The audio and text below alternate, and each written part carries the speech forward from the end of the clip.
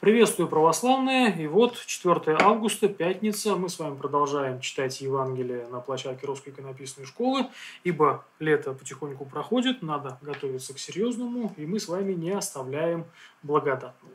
Сегодня э, чтение сложное. Это Матфея 83 зачало 2, 21 глава, с 12 по 14 стихи, и стихи с 17 по 20. Так, еще раз. Да, 4 пятница, 83 зачало.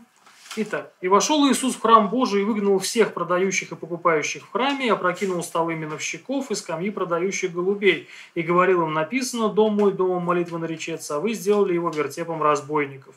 И оставив их, вышел вон из города в Вифанию, провел там ночь, Поутру же, возвращаясь в город, взял Калы, увидел по дороге одну смоковницу, подошел к ней, ничего не найдя на ней, кроме одних листьев, говорит ей, да не будет же впредь от тебя плоду вовек, и смоковница тотчас засохла. Увидев это, ученики удивились и говорили, как это тотчас засохла смоковница. Ну, то есть здесь я обращу ваше внимание, во-первых, на то, что э, религия не должна быть бизнесом, потому что, помните, в случае с Гадаринской страной, где утонуло стадо свиное, и вот эта неполученная выручка, она заслонила от жителей той страны тот факт, что Господь пришел. И Господь не стал метать бисер перед свиньями, и в прямом и переносном смысле, и удалился от пределов всех. И вот тут тоже важный момент. Да? С одной стороны, э, невозможно не заботиться о каких-то фундаментальных вещах, но с другой стороны, служение мамонии начинается с того простого вопроса, а что мы завтра будем есть, а уверены ли мы, что у нас к зиме все готово, или к лету, или там к отпуску и так далее. И вот это всегда вот такой баланс. Ну и следующий интересный момент – это про смоковницу. Увидел при дороге одну смоковницу, подошел к ней, ничего не найдя на ней, кроме одних листьев, говорит ей, да не будешь же впредь от тебя плода вовек. И это тоже такой интересный момент, потому что, ну, не сезон был. Вообще-то Пасха у нас когда? Пасха у нас по весне. Кто же по весне ищет плодов? Плоды, они появляются а, к лету, а то и к осени. И вот тут, конечно, стало жалко смоковницу, но она же не виновата, что у нее даже еще цветов-то не случилось, не то что плодов.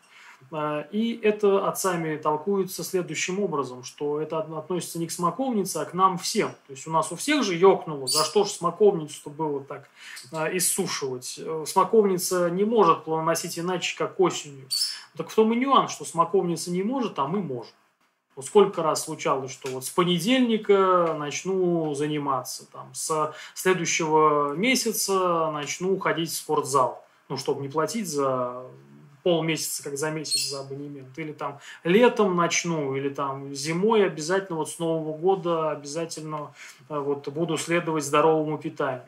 И вот у смоковницы плодоношение э, зависит от э, периода, времена года, да, а, а вот у людей от волевого усилия. И поэтому вот смоковницу нам жалко, потому что несправедливо, и те, поэтому как раз-таки будут тем более вдвойне неправы те, которые скажут, Господи, да вот, ну, что же ты как, вот, ты, Господи, ты не поверишь, с понедельника я собирался бросить пить.